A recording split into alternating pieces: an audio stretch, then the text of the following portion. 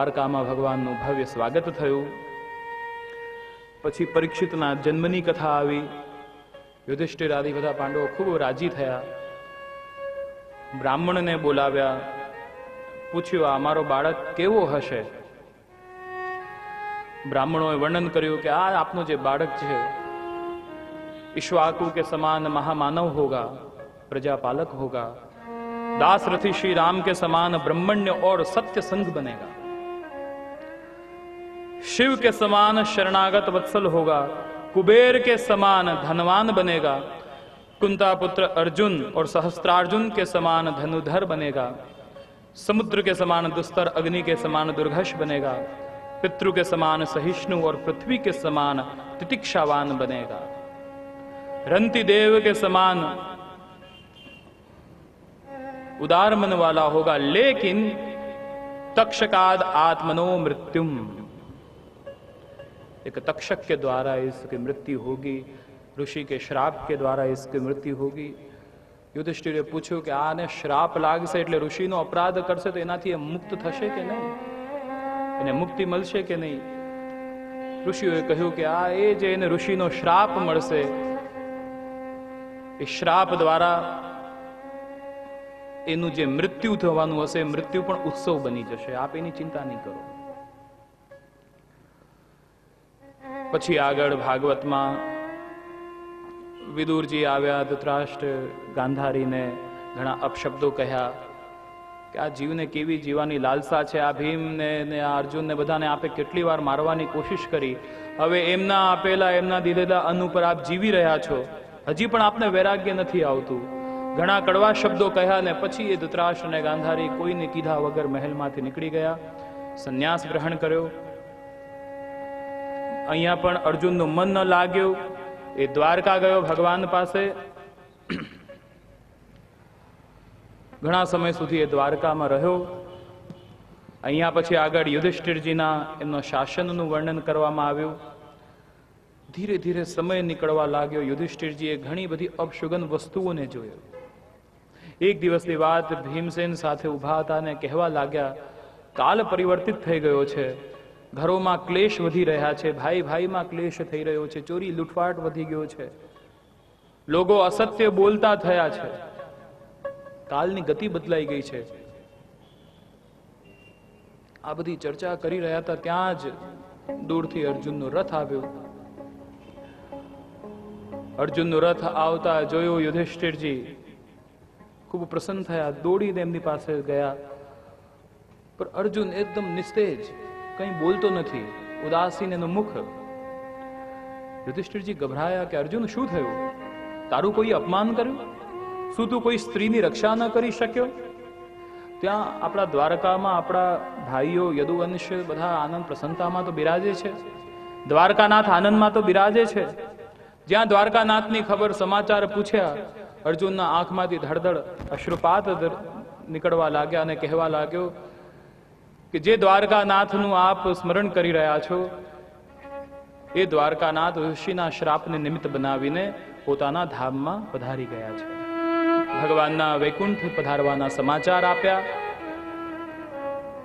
આ સમાચાર સાંભળતા જ પાંડવોના હૃદયમાં એક વૈરાગ્ય પ્રગટ થયો. રાજ્યનો ત્યાગ કર્યો. પરીક્ષિતનો રાજ્યાભિષેક થયો. અને બધા હિમાલયની દિશામાં નીકળી ગયા. કુંતાજીને જ્યારે આ સમાચાર મળ્યા, ભગવાનના સુધામ પધારવાના સાંભળતાની સાથે જ એમના પ્રાણ નીકળી ગયા. અને ધીરે ધીરે પછી આ પાંડવોના એક એક ધડ પડવા લાગ્યા. એનું વર્ણન સુખદેવજીએ કર્યું. ને પછી આગળ પરીક્ષિતના રાજ્યનું વર્ણન કરવામાં આવ્યું. એક દિવસની વાત છે, પરીક્ષિત રાજા, રાજ્ય વિચરણ. કરવા માટે ઘોડા પર સવાર થઈને પધાર્યા. એક બહુ વિચિત્ર દ્રશ્ય જોયો. એમણે જોયું એક કલી પુરુષ એક ગાય અને એક બળદ. એને મારતા પીડતા ઘસીટતા લઈ જઈ રહ્યો પરીક્ષિત રાજાને બહુ કરુણા આવી કે, અરે, મારા રાજ્યમાં આ પ્રકારથી પશુઓની હિંસા? પશુઓને આટલી બધી પીડા? જો અહીંયા રૂપક છે ગાય એટલે એ પૃથ્વી અને બળદ એટલે એ ધર્મ. બળદ ધર્મનું સ્વરૂપ છે. અને એ બળદ પણ કેવો એક પગ પર ઊભો હતો. ને એ બળદને અને ગાયને મારતા, પીટતા એ જે શુદ્ર રાજા હતો એ લઈ જઈ રહ્યો હતો. જુઓ, ધર્મના ચાર ચરણ છે. દયા, સત્ય, તપ અને પવિત્રતા. જ્યારે ભગવાન સ્વધામ પધાર્યા, એના પછીથી કલયુગ આવ્યો.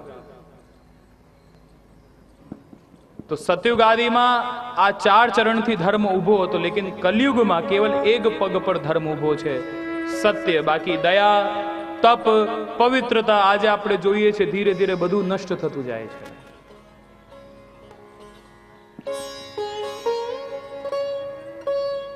પરીક્ષિત રાજાને ખૂબ દુઃખ થયું કે મારા રાજ્યમાં આ પ્રકારથી પશુઓની હિંસા એમને આટલું કષ્ટ તલવાર કાઢી કોણ છે તું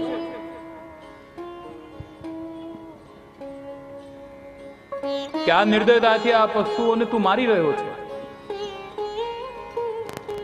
ચક્રવર્તી સમ્રાટ હતા બોલો શુદ્ધ રાજા कि मैं कलयुग हूं कलयुग तो मेरे राज्य में रह ही नहीं सकता अभी तेरी તુજે માર તેરી હત્યા કરું. પગ પડી ગયો. પગે પડ્યો કે, રાજન, હું આપની શરણમાં છું. આપ કયો, હું ત્યાં જઉં? રાજાનો એક ધર્મ છે એમના શરણમાં આવેલા ને મરાય નહીં. હું આપની શરણાગતિ સ્વીકારું છું. રાજન, આપ મને આજ્ઞા કરો, હું ત્યાં રહું. કે નહીં તું મારા રાજ્યમાં નહીં રહેતું, નીકળ. તો આપ મને કયો, ક્યાં જવું આપ તો ચક્રવર્તી આખા ભારતમાં આપનું રાજ્ય છે. કયું એવું સ્થાન છે? હું ત્યાં જઉં. આપ મને કોઈ રહેવાના કોઈ સ્થાન આપો? અને આપ આવી રીતે મને ભગાડી ન શકો. હવે મારે આવવાનો સમય પણ થઈ ગયો છે. અને પછી પરીક્ષિત રાજાએ એ કલયુગને રહેવાના ચાર સ્થાન આપ્યા. દ્યુત, મદ્યપાન, સ્ત્રી સંગ અને હિંસા. આ ચારમાં કલયુગ રહેલો છે. विद्युत जुआ, मदिरा का सेवन परस्त्री संग और हिंसा। इन स्थानों में क्रमशः असत्य, मद, आसक्ति और निर्दयता, यह चार प्रकार के अधर्म निवास करते हैं। चार स्थान दिए, कलयुग कहने लगा, राजन, कुछ एकाद अच्छा स्थान भी तो दीजिए।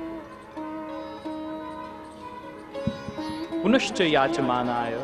ફરીથી એણે માંગ્યું અને પછી પરીક્ષિત રાજાએ સુવર્ણ એટલે સુવર્ણ એટલે અનિતિનું ધન, જે અનિતિથી જીવ કમાય છે, તો એમાં કલયુગનો વાસ છે એટલે ધ્યાનમાં રાખીએ, કમાઈએ તો નીતિથી અનિતિનું ધન આપણા ઘરમાં ન આવે. કમાઓ તો નીતિ સે, રહો તો રીતિ સે, ઓર હરિભજન કરો તો પ્રીતિ સે. वो अनिति का धन जो घर में आएगा तो घर में क्लेश करवाएगा તો સુવર્ણમાં સ્થાન આપ્યું રાજાએ બતાવેલા આ પાંચ સ્થાનોમાં કલયુગ રહેવા લાગ્યો જ્યાં કલયુગ હોય છે ત્યાં નવ પ્રકારના અધર્મ થાય છે લોભ અસત્ય ચોરી બેઈમાની હિંસા, દુર્જનતા, મયા, કલહ અને દંભ. જ્યાં કલયુગ હોય, કલયુગનો પ્રભાવ હોય, ત્યાં નવ પ્રકારના અધર્મ દેખાય છે. જીવ અસત્ય બોલતું હોય, લોભ વૃત્તિ હોય, ક્લેશ થતો હોય ઘરમાં, તો સમજી જજો કે કલયુગનો પ્રવેશ થઈ ગયો છે. પરીક્ષિતના બતાવેલા સ્થાન ઉપર આ કલયુગ રહેવા લાગ્યો. થોડોક આનો સંગ થયો. પછી જ્યારે મહેલમાં આવ્યા મહેલમાં આવ્યા તો પોતાનો જે ખજાનો અને સંપત્તિ બધું હતું એ જોવાની એને ઈચ્છા થઈ. સંપત્તિ બધું જોઈ રહ્યા હતા. ત્યાં એક સુંદર દિવ્ય રત્નજટિત એવું દિવ્ય મુગટ જોયું. મુગટ ધારણ કર્યું. ને જ્યાં એ મુગટ ધારણ કર્યો, એ મુગટમાં કલયુગ આવીને બેઠો. કે એ મુગટ કયું હતું? જરાસનનો જ્યારે ભીમસેન સાથે જ્યારે જરાસનનું યુદ્ધ થયું હતું, તેની ઉપર વિજય પ્રાપ્ત કરીને ત્યાંથી ઘણું ધન સંપત્તિ આ લઈને આવ્યા હતા. તો એ મુગટ આ રાજાએ પહેર્યું અને એ મુગટ પહેરવાથી જ બુદ્ધિ ભ્રમિત થઈ ગઈ, ભ્રમ થયો. અને હવે બુદ્ધિ બગડી, વિચાર આવે કે બહુ સમય થઈ ગયો છે. વન વિહાર નથી કર્યો, શિકાર નથી કર્યો. અને હવે ઘોડા ઉપર સવાર થઈને શિકાર કરવા માટે ગયા. ભ્રમણ કરતા કરતા એક આશ્રમ આવ્યો. બહુ તૃષા એમને લાગી. આશ્રમમાં એમણે પ્રવેશ કર્યો. હવે શમિક ઋષિ નેત્ર બંધ કરીને ધ્યાન સાધનામાં બેઠેલા હતા. હવે આ પરીક્ષિતજી ત્યાં આવ્યા. જલ માંગ્યું, પણ ઓલા સાધનામાં એટલા મગ્ન હતા કે રાજા આવ્યા એમને ખબર પણ ન પડી. પરીક્ષિતજીને થયું કે આ જો મારી સામે આડંબર કરે છે, દંભ કરે છે હું આટલો મોટો ચક્રવર્તી સમ્રાટ આમના આશ્રમમાં આવ્યો ને આ ન થયા? મારું સન્માન ન કર્યું? અને આ નેત્ર બંધ કરીને પાખંડ કરી રહ્યા છે.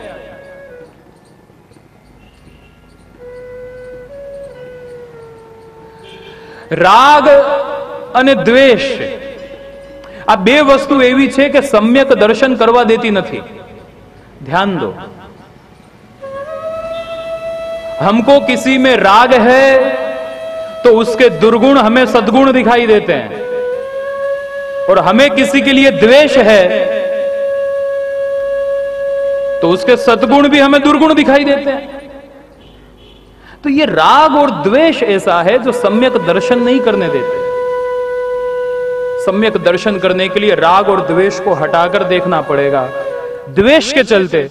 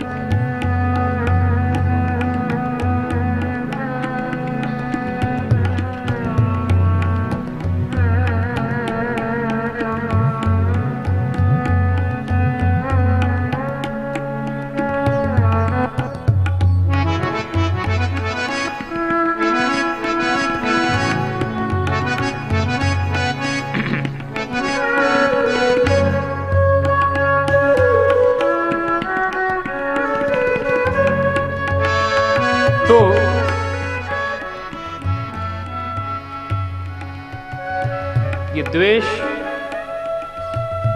ये कलयुग का एक विकार है और जिसके चलते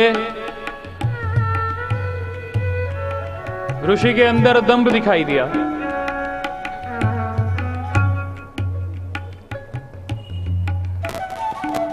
ક્રોધ આવ્યો અને પછી એક સર્પ તક્ષક એ સર્પ લીધો એમના ગળામાં મૂકી દીધો ઋષિનું અપમાન કર્યું. ત્યાંથી એ નીકળી ગયા. જ્યારે આને સમાચાર એમના પુત્ર શૃંગીને ખબર પડી, શૃંગીને ક્રોધ આવ્યો.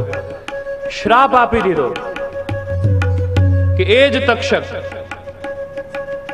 જે રાજાએ મારા પિતાનું અપમાન કર્યું છે, અનાદર કર્યું છે, આજથી સાતમા દિવસે એ જ તક્ષક દ્વારા એ રાજાની મૃત્યુ થશે. સાત દિવસ મળ્યા. જો એ પરીક્ષિતજીએ એ સર્પને, એ ઋષિના જો માથા ઉપર મૂક્યો તો એ સમયે જ એ મરી જાય. ગળામાં નાખ્યો સાત દ્વાર રહી ગયા. સાત દિવસ. જો બે કાન, નાસિકા, આંખ, મુખ, એટલે સાત દિવસ બચી ગયા. શૃંગી ઋષિએ શ્રાપ આપ્યો. આ રાજા જ્યારે ઘરમાં આવ્યા મુગટ ઉતાર્યો. પોતાની ભૂલ સમજાઈ. અરે મેં આટલા મોટા ઋષિનો અપરાધ કર્યો. અમારાથી અજાણતા કેટલો મોટો અપરાધ થઈ ગયો. પણ આ જે અપરાધ મેં કર્યો છે, એનો દંડ મને મળવો જોઈએ.